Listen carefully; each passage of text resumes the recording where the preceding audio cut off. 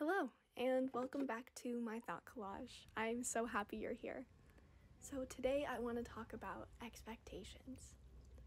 I am in high school, so I have a bunch of expectations for my life. You know, I need to graduate, I need to find a job, I need to find love, I need to get things done and get things done fast to feel fulfilled.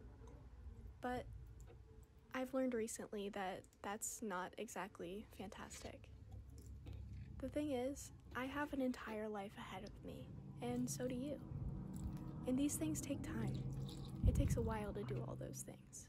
So I want to let you know that it's okay to enjoy where you are right now. It's okay to relax, and it's okay to be. Because we're put in our place for a reason. And while we're in those places, it's awesome to make the best of it. Have a great day.